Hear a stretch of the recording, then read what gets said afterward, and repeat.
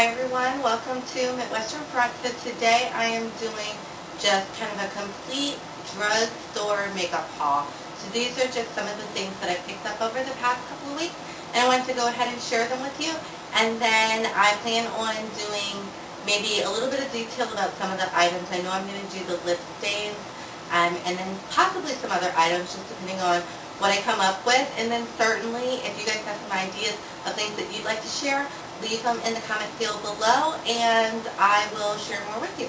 Okay, so this video may run a bit long because I have a lot of stuff, so I may split it into two. Just make sure that you check out both part one and part two. So I bought um, a several lip stains. I've been on the hunt for the perfect lip stain, and this was the first one that I was drawn through. It's Revlon Just Bitten, and it's got two ends to it. So you've got the first end for the lip stain, and then you have the second end for the balm, and so it's like easy peasy, one-stop shopping. This one I got in Lust, and um, it's a very good product as far as lip stains go. Um, I do like that it's got the two-in-one. That was a bonus. I also purchased two Maybelline um, Color Sensational Stains. These two are like magic markers. I thought that they worked really well. Um, I am wearing right now Bitten Berry, which is this first one, and then I also got Cherry Pop, which is the second one, and these are both very good products as well. And, you know, I'm sure I got it at either Target or Walgreens.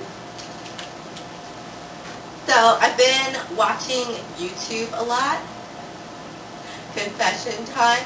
And I'm learning a lot. Like, I'm meeting a lot of great people, but I'm also learning a lot and, you know, not knowing a lot about makeup, I had no idea about the importance of these brushes, but apparently it makes all the difference in the world. So um, I did get a couple of brushes. I got an e.l.f. foundation brush and then an e.l.f. defining eye brush, which is for your eyeshadow. And then um, I think I got this one at Marshall's or TJ Maxx, and it's Lilique, and this one is um, an angle angle shadow brush and this is good for like doing cat eyes which I still don't know how to do yet but apparently in order to learn to do so I'm going to need one of these brushes so I got all three of these and I'll show you what they look like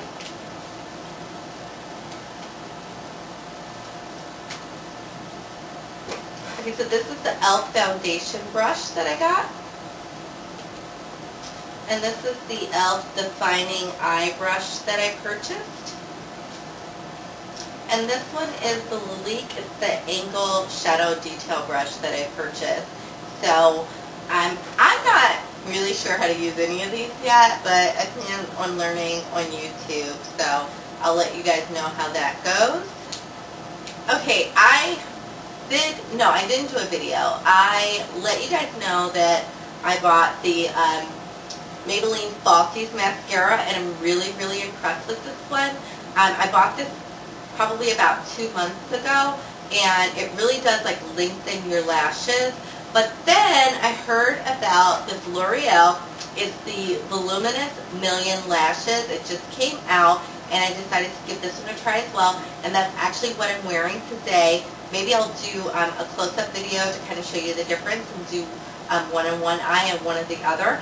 They both have their advantages. I found that the Falsies really was great for lengthening, but the just like they say in the commercials, the voluminous million lashes um, really gave me a lot more volume, and it was lengthening as well. So um, I really like the way that this one works, um, and I'm a sucker for the packaging, so it's like nice packaging as well, and it's got like a nice round brush.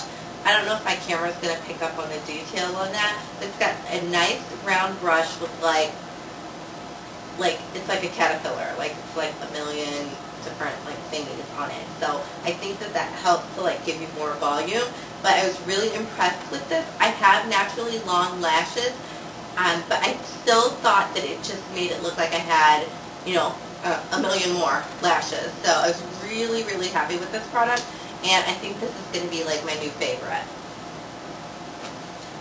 This is the packaging for it, like I ripped it apart, but if you're looking for it on the shelves, this is the packaging for it. I am highly recommend this one. Okay, so I also picked up this Revlon Photo Ready foundation. I was using CoverGirl and I was using a powder foundation, but I actually have kind of dry skin. So in talking on Twitter and specifically to at Skin Deep Beauty on Twitter, um, she recommended that I go with a liquid foundation to combat that. So learn something new every day. And then I also um, saw a couple of tutorials with the Revlon Photo Ready, so I decided that I would take my new brush and my new foundation and give that a try. So that's what I'm wearing right now. And I'm really happy with the way that it's turning out. I think it really does help, like, in terms of, like, just giving me maybe an all-over more dewy look. And the it was pretty easy to match up the color. So this one is cappuccino, and what I was thinking was that I would go for the caramel as well, which is a lighter shade, so I could get like more depth because I was also learning that like you don't necessarily need to go with one color. You can kind of mix the colors.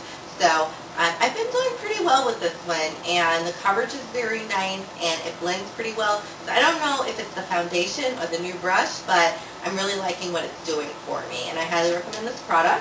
Well, thank you guys so much for tuning in. Once again, don't forget to subscribe. The button is right above. Don't forget that I have a $100 gift card contest going on right now. I need you guys to go to this link. I'll put it right there and sign up to become a member of haulvideotv.com.